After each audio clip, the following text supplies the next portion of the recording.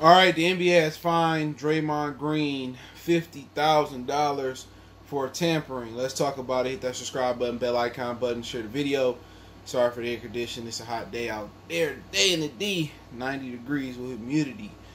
Feel like a miniature Florida. But uh, let's talk about uh, Draymond getting suspended prior to the 1920 season, um, which is this ongoing season. They have stricken um, the tampering policy. And what Draymond Green did after Devin Booker hit a hell of a game winner over Paul George and Kawhi Leonard to beat the Clippers, and they got he got the Suns four and zero or five and zero in the bubble. Draymond Green said we need to get Devin Booker out of Phoenix so he can win some games and basically be appreciated by the NBA. And I agree. All right, and he says, you know, I think Ernie asked him, "What about getting him to uh, Golden State?" He said, "Maybe, possibly," and it seemed a little petty. You know, Draymond not even playing, and they, you know, he's still getting fined. I thought that was petty, and a lot of people in the league kind of been sour on tampering ever since LeBron, Chris Bosh, and Dwyane Wade formed a super team, and even more sour once Kevin Durant joined the Golden State Warriors. So they've been trying to stop the tampering a little bit, and I think it was just petty. Um, I don't think he was trying to get Devin Booker to Golden State. Look what Golden State already got: Klay Thompson and Steph Curry. You know, Devin Booker is a guy that like to control the ball, you know, facilitate a little bit, but he's a scorer. How would he fit over there with Wiggins and all of them? Even if they got with Wiggins and, and Draymond, it just wouldn't fit. So I just felt it was it was it was petty. He wasn't even in the player role. He was more of an analyst role. And at the end of the day, the NBA don't want to be strict like that on the policy. But when you got thirty some GMs complaining and crying about tampering, you know, instead of sitting there and trying to find creative ways to get free agents to come there, then you end up with this. So I'm not the biggest Draymond Green fan of late. Uh, obviously, he's is Spartan. I'm a Michigan fan. You can check my channel where I talk a little bit Michigan basketball, a lot of Michigan football at Motor City Sports Talk on YouTube if you're interested. But I still felt that was petty, hella petty, petty, uh, petty by the league. He wasn't trying to recruit Devin Booker to the to the uh, to the Warriors. Not even though Ernie asked him. Somebody said, "What about him to the uh, go?" He said, "Maybe." You know, so you know it is what it is, man. The NBA they, they got to be strict. Um, but I think he made an honest comment, and we do need Devin Booker out of Phoenix. You know, Phoenix is one of those franchises that haven't put work for, forth the effort to really be successful. There's been talks about Phoenix moving to Las Vegas for the last shit for like ten years now. All right, it's been talks about them moving and getting out of Phoenix and going to Las Vegas of late.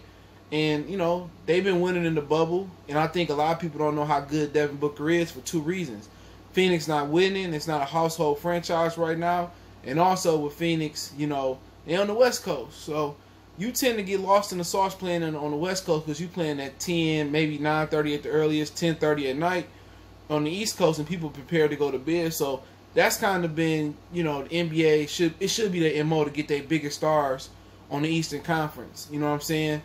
That's why LeBron, you know, was so big because he played at 7:30, 7 o'clock, 8 p.m. Eastern Standard Time. That grew his brand. Most of the world could see him play, and it wasn't too late at night. So playing in the West Coast, it do hurt you, and it's hurt a lot of different guys over there. Of course, they're gonna push the Lakers. You know what I'm saying? They're gonna push the Rockets. They always gonna be on, you know, on prominent, you know, time slots. But when they come to like Damian Lillard and you know, outside the Warriors too, outside you know, De'Aaron Fox is underappreciated you know, it's a lot of underappreciated stars out west, and it's, it's hard to get the East Coast people to stay up 10, 30, 11 when they got to be in work in the morning. But I just thought the, the tampering charges, you know, with the NBA with Draymond Green, I just thought it was petty. I thought I think they should have just called them, warned them on a little bit, but then again, they gotta take all charges serious, and um, they tighten up the tampering. Especially, it's been a lot of talk about you know uh, super teams being formed in a bubble and, and guys being able to, to be around each other almost 24 7 and be able to tag team up. If that's what they want to do, that's what they want to do. It ain't you can't stop the rain like Shaq said. You can't. If if guys want to sit there and they want to form a super team in the bubble and they want to put it together, that's their prerogative. And they want to keep the NBA competitive, but you look at Indiana with Paul George with them saying and Larry Bird co-signed it. they didn't want to spend the money to be a competitive franchise.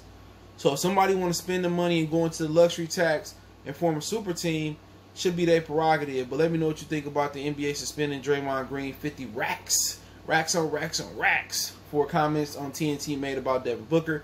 Don't forget you can follow us on Facebook, Instagram, Twitter. You can reach out if you got any questions, business inquiry, sponsorship, YouTube questions, or you just want to chop it up. My social media links in the description. Also, we got a Facebook group. You want to join that? Check that out as well too. Want to make a donation? CJ Good three one three is the Cash App. That's in the description. Also, the PayPal link in the description. Best way to uh, donate. If you haven't, subscribe, bell icon button, thumbs up, comment. But the best way to donate is to share the video one time for the one time. And don't forget, check out our NBA Talk playlist for more videos like that. This, we gone.